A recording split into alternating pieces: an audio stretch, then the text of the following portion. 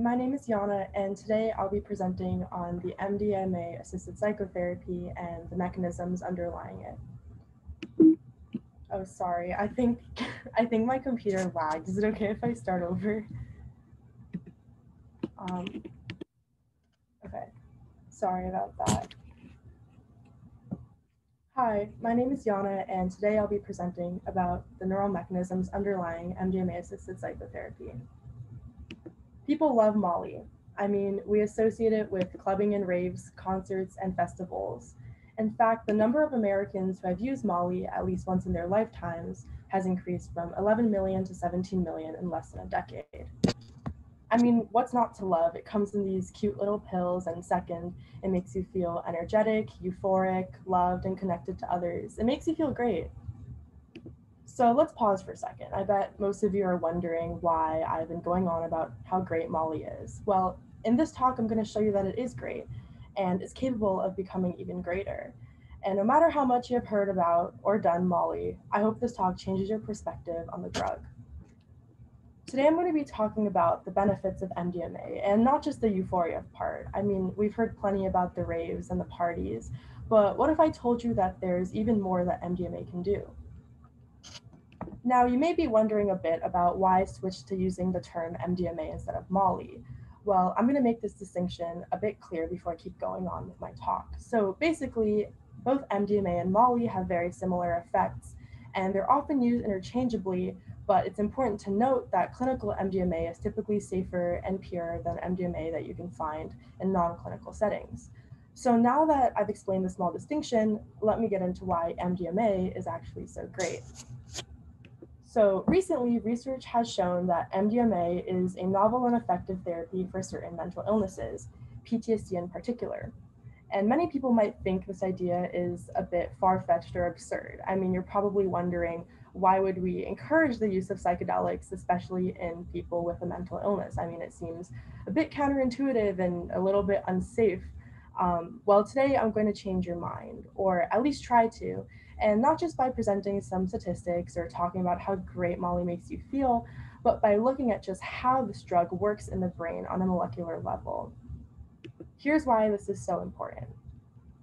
Post-traumatic stress disorder, or PTSD, affects 3.5% of the US population. That's over 8 million people. It's a stress-related disorder that basically develops after people experience a traumatic event but it can also develop from repeated exposure to trauma or the secondhand experience of trauma. So that could be watching it happen, seeing the aftermath, or hearing about it occurring. We're all impacted by trauma, of course, and some of you may have already experienced such an event. And many of you, around 70% of you, will actually end up experiencing some form of trauma throughout your lifetime. And it makes sense that we would react negatively to it. I mean, it's normal to feel scared and anxious and powerless and hope that it doesn't happen again.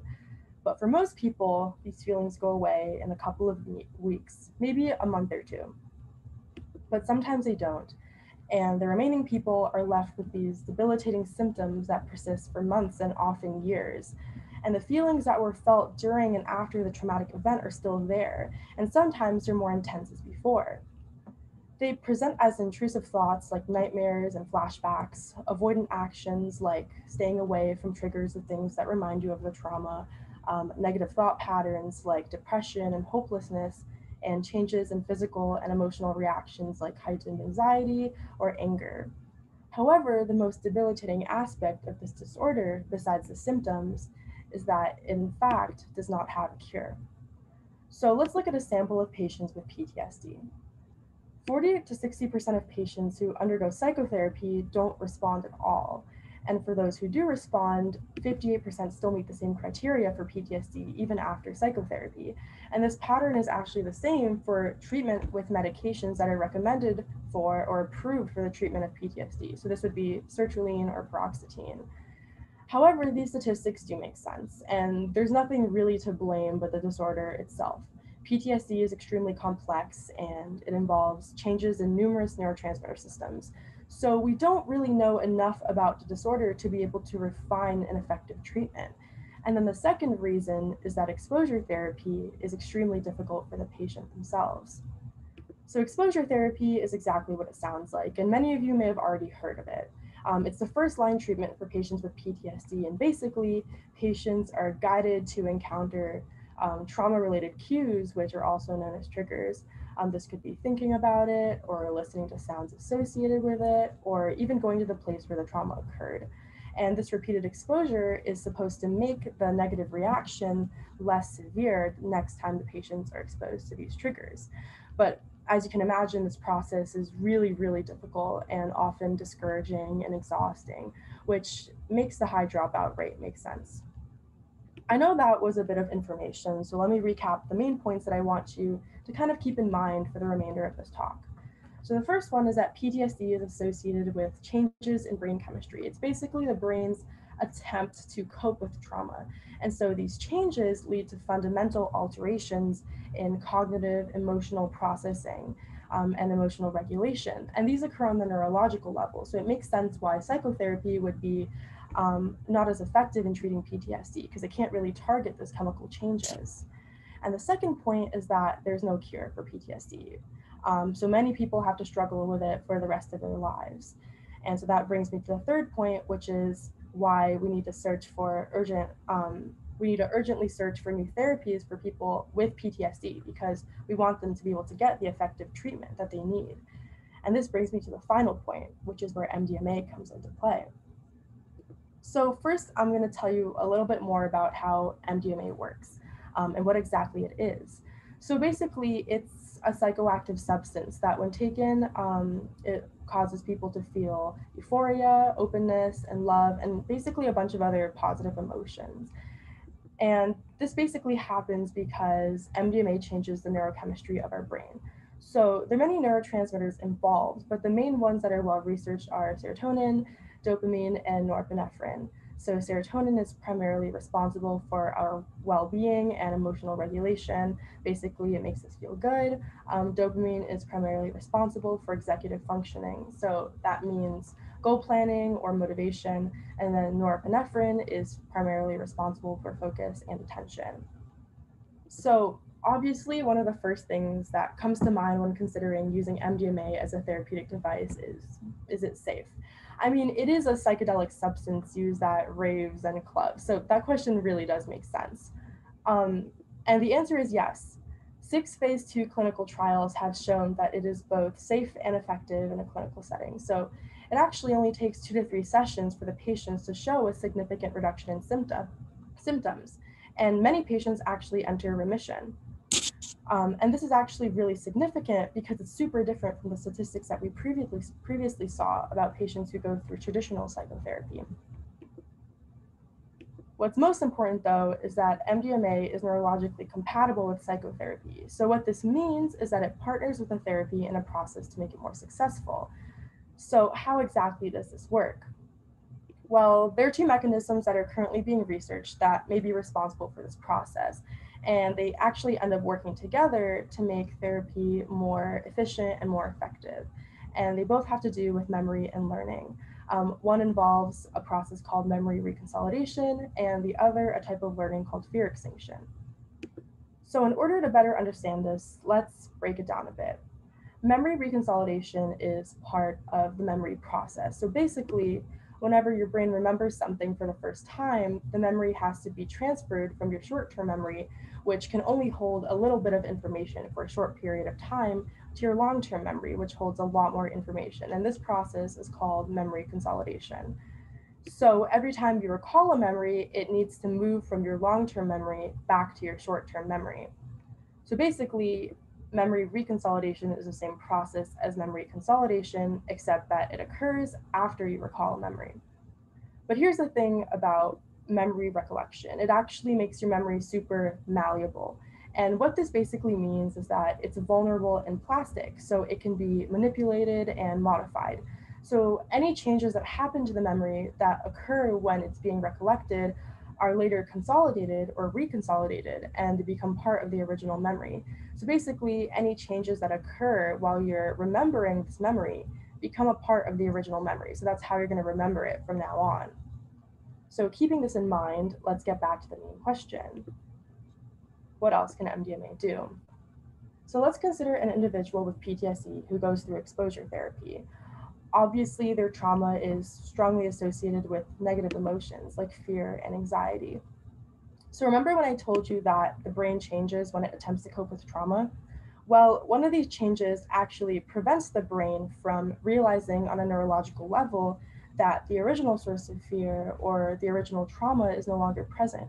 So that means that when the brain senses these triggers, the neurons respond to them as if the original event is, is occurring all over again. And so that's why we see this heightened fear response.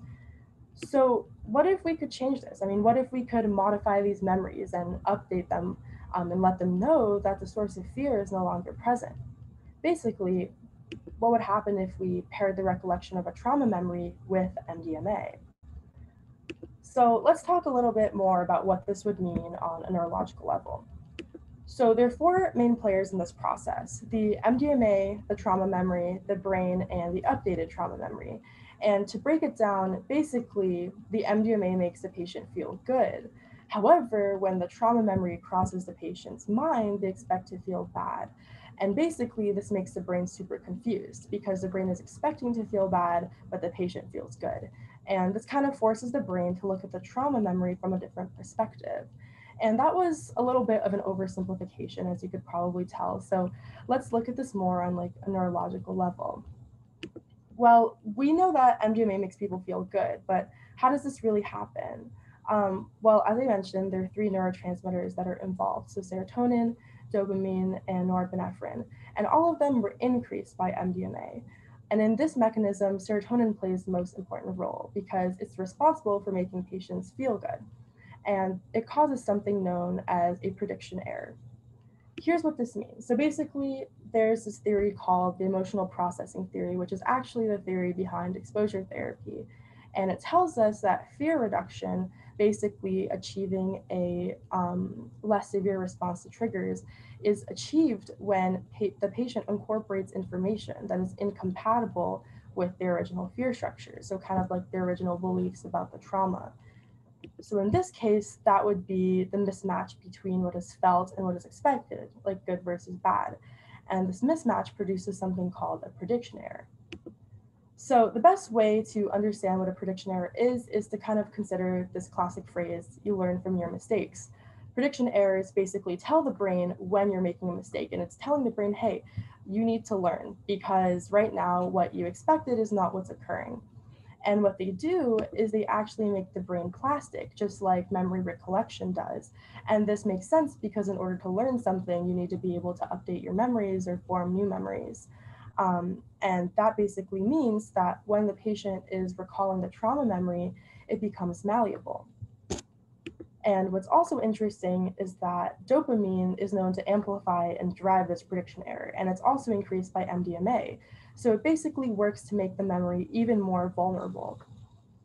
And as we know, when a memory is malleable, it's much easier for the brain to incorporate new information into the original memory. So in this case, it would be the sense of well-being felt when the patient is reminded of the trauma. So then the original memory is updated with this new information.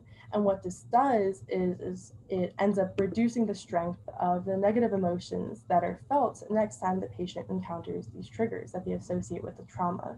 So this kind of explains why we see such clinically significant reductions in symptomatology um, in patients who have undergone MDMA-assisted psychotherapy.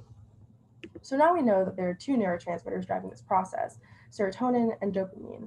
But what about norepinephrine? I mean, what does that one do? Well, it also does play a role, just not exactly in the same way as serotonin and norepinephrine. It actually ends up working together with serotonin to enhance a type of learning called fear extinction. So, fear extinction is the primary goal of exposure therapy. It's a type of learning that decreases the fear associated with triggers, basically through repeated exposure. And there are also four main players in this process the unconditioned stimulus, the unconditioned response, the conditioned stimulus, and the conditioned response.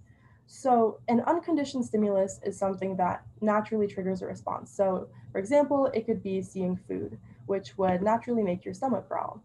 And so the unconditioned response would be your stomach growling. But a conditioned stimulus is something that's not associated at all with the unconditioned stimulus, but it has come to be associated through repeated exposure. So in this case, it could be the ringing of a bell every time food is brought out. So the conditioned response would then be your stomach growling in response to the ringing of the bell, even if you don't see any of the food. So in the case of PTSD, the unconditioned stimulus is a traumatic event, and the fear and the um, anxiety felt during the event are the unconditioned response. But then we have these triggers that become conditioned stimuli, and they elicit the same fear and anxiety that was felt during the original traumatic event, even though it's in the past. So let's get back to serotonin and norepinephrine. I mean, what exactly do they do? Well, they promote the release of this substance called BDNF, or brain derived neurotrophic factor. And basically, what this does is promote learning and memory. It's a neurohormone, and that means that it is in charge of taking care of our neurons. So, basically, helping them grow, um, making sure they're healthy, and modulating synaptic connections. So, making the connections between the neurons stronger or weaker. So when MDMA increases the levels of serotonin and norepinephrine, it indirectly increases the levels of BDNF. And what that does is make fear extinction learning a lot more efficient and effective. So let's take a quick step back and look at the ways MDMA may enhance psychotherapy. So on one hand, we have a disruption of memory reconsolidation, and on the other, an enhancement of fear extinction. But when you really look at these mechanisms on a neuronal level, you see that there are two chemically different sub-mechanisms, but they merge into one functionally connected mechanism in a way that's truly synergetic. I mean, we have serotonin and dopamine driving a prediction error that disrupts memory reconsolidation, and then we have serotonin and norepinephrine driving the release of BDNF. And then you have BDNF, which promotes learning and retention. So when it's increased, it increases the efficiency and the efficacy of both memory reconsolidation, having that updated memory, and fear extinction, which are both types of learning. And you have all of this occurring with MDMA, and it would not be possible if MDMA wasn't incorporated in the psychotherapy. And there are also many, many more mechanisms that are currently being studied or that we haven't even been able to understand yet, which may be involved. So I really hope this grew your understanding of MDMA and of the brain and all that can be accomplished if we study them together. And if any of you are wondering about how big of a role these mechanisms play, or if they occur in people who take MDMA outside of a clinical setting, or if there's something completely different at play, well, you're a bit out of luck because here's the thing we don't really know. Research on psychedelics has just recently gained traction in the medical field, and MDMA assisted psychotherapy has just been given breakthrough therapy status. And what this means is that scientists have been dedicating more time and efforts to investigating the effectiveness and the safety of the drug instead of trying to figure out how exactly it works.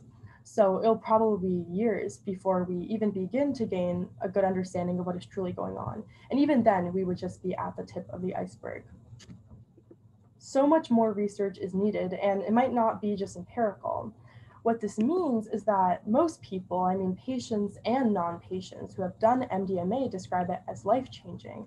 And many of them say that it helped them view the world and their lives differently. And so we really have no way of quantifying these changes in a molecular um, manner. And we can't be certain that these experiences of alterations in consciousness are even quantifiable. And this here is really the wonder of MDMA, as well as many other psychedelics. There's so much that we don't know, which is why it's truly essential to ask ourselves, what else can MDMA do? Thank you.